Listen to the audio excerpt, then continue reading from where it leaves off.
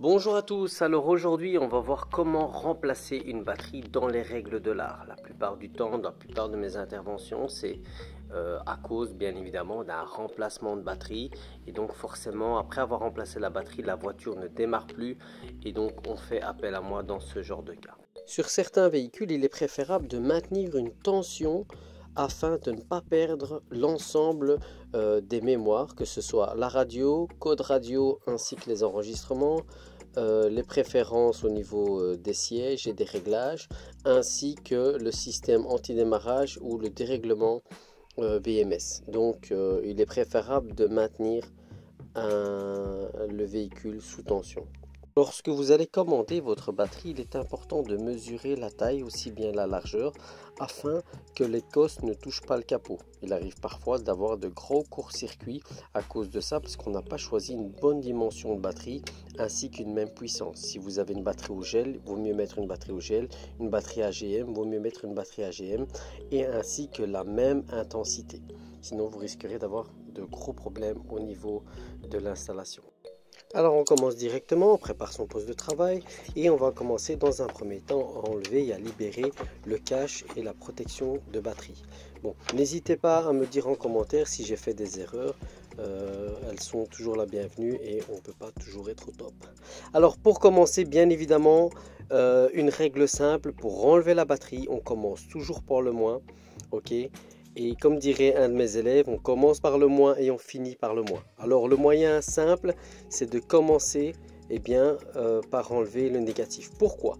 Alors si on tourne la clé comme je vous montre là, si ça touche un élément de la masse, on fait directement un court-circuit et on peut cramer le boîtier électronique ainsi que de faire des... Il y a des risques d'explosion bien évidemment. Donc on dessert d'abord la masse, et on s'assure bien évidemment de la mettre sur le côté et de bien la coincer afin qu'elle ne bouge pas. Ça c'est la première étape. Ensuite, il faut bien évidemment mesurer, hein, voir si toujours vous avez une tension. C'est important afin de vérifier si c'est toujours en ordre. Très bien. Une fois qu'on a mis la cause négative de côté, on va attaquer directement la borne positive. Donc, on n'oublie pas, quand on enlève, c'est moins.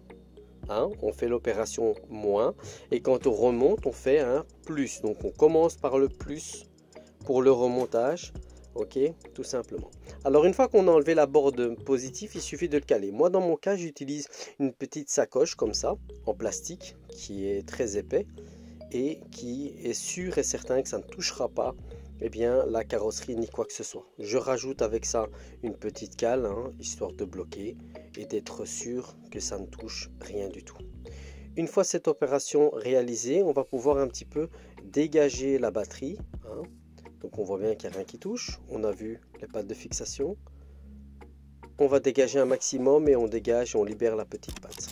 Une fois que la patte elle est libérée, on va pouvoir reculer un petit peu la batterie. Pourquoi? Pour pouvoir enlever le tuyau de dégazage. Alors, une fois qu'on a libéré le tuyau de dégazage, on peut enfin eh bien, euh, reculer, reculer la batterie. Voilà. Dans mon cas, c'est vraiment la batterie, elle est sur mesure. Donc j'ai vraiment quelques petits millimètres pour pouvoir enlever le tuyau de dégazage qui est important. Il faut toujours s'assurer qu'il ne soit pas bouché. Et c'est ça qui va aider à la ventilation votre batterie. Une fois que c'est fait, on peut extraire la batterie. Et il faut surtout pas oublier, bien évidemment, euh, je le répète, les lunettes de sécurité, gants. On n'est jamais assez prudent avec ce genre de choses. Bon, vous avez vu le bac, on récupère la vis ainsi que la patte. Et on donne un petit coup de nettoyage, on nettoie le bac, voilà, que ce soit propre. Très bien. Alors, on va commencer par enlever la petite cosse et on va la remettre au même endroit. Toujours euh, de manière vraiment juste. Bien s'assurer qu'en dessous de la borne positive ainsi que négative, il n'y ait pas du plastique. Parce que parfois, vous allez vous retrouver avec euh, un petit plastique et vous ne faites pas contact avec la batterie. Hein, comme vous pouvez voir, souvent il se retrouve en dessous. Et euh, bien, malheureusement, vous êtes toujours embêté et là bien s'assurer que la borne dépasse bel et bien et bien mettre euh, bien sûr euh, cette cosse bien droite Très bien. Une fois que c'est fait, qu'on s'assure que c'est bien droit, eh bien, on peut assurer de remettre ça. Alors, dans ce bac, vous allez voir qu'il y a un petit emplacement pour pouvoir eh bien, fixer la batterie. Il faut bien la poser et la mettre au fond. Il une espèce de petite gorge hein, et vous allez pousser au fond pour pouvoir la mettre dedans. Maintenant, pour fixer la patte, vous allez voir que c'est un petit peu délicat. Ici, je vous montre un petit truc simple pour pouvoir eh bien, fixer la douille sur la vis. Vous mettez un petit bout de papier ou dans mon cas de la toile isolante. Je mets simplement ça, je pousse et je force la douille dedans hein, légèrement et voilà, ma vis elle tient. Et je suis sûr et certain qu'elle ne va pas tomber à l'intérieur. Donc une fois que j'ai fait ça, vous pouvez voir, il n'y a plus qu'à la pousser dedans et de bien la calibrer pour être sûr et certain qu'elle ne va pas tomber et qu'on va passer des heures. Maintenant, je vais glisser légèrement de la gauche vers la droite pour m'assurer que ma vis tombe bel et bien dans le trou. Dès qu'elle tombe dans le trou, je serre ça uniquement à la main, légèrement, et je m'assure que ça prend bien quelques filets. Et je récupère gentiment euh, ma petite toile isolante. Très bien, une fois que cette opération a été réalisée, je vois bien que ça coulisse de part et d'autre. Très bien. Donc comme on a dit, comme on va mettre la batterie, on commence toujours par le plus. ok? Dans euh, les limites du possible, parce que je sais bien dans certaines marques on n'a pas de possibilité. Hein, ça, c'est toujours en théorie. Donc on commence par le moins et on termine par le moins. Et on peut voir ici que je vais essayer d'ajuster ça pour le mieux, hein, afin que ça ne va pas tirer sur les câbles. Je resserre légèrement pour que ce soit un petit peu contre de plus en plus. C'est une vis qui fait 3 km. Je crois qu'elle sert en même temps le berceau. Très bien. Euh, donc une fois que c'est mis, on remet la cosse tout simplement et on y place les deux écrous. On y met les deux écrous et on serre convenablement. Jamais trop fort, c'est un petit écrou de 10 donc euh, on y va mollo, on s'assure simplement que la cosse ne bouge pas et que ce soit bien fixe. Attention, avant de remettre la borne négative, il faut toujours s'assurer que la porte est bel et bien ouverte et que le contact est bien coupé. Si ça, si vous ne réalisez pas cette opération, deux possibilités. Ou le verrouillage central va se mettre en place et la porte va se fermer, ou alors vous allez claquer un boîtier électronique et faire une autre tension parce que vous avez laissé le contact. Et des boîtiers comme euh, des, BSM, qui peuvent, euh, comme des BSI, qui peuvent claquer. Pourquoi? Parce que vous allez envoyer de la, de la tension directement dessus. Une fois que vous avez bien rentré la cosse, vous serrez convenablement et vous vous assurez que la cosse ne bouge plus. Une fois que cette opération est réalisée, vous pouvez serrer maintenant la batterie. Vous mettez ça contre, toujours un petit coup Hein, c'est pas très fort. Vous pouvez utiliser la clé dynamométrique ainsi que le tableau. Mais bon, une petite vérification s'impose. N'hésitez pas à prendre une clé et vérifier que ça n'a pas bougé. Hein. Faites le tour, n'hésitez pas à ça. Une fois que ça a été réglé, il faut bien évidemment remettre le tuyau de dégazage.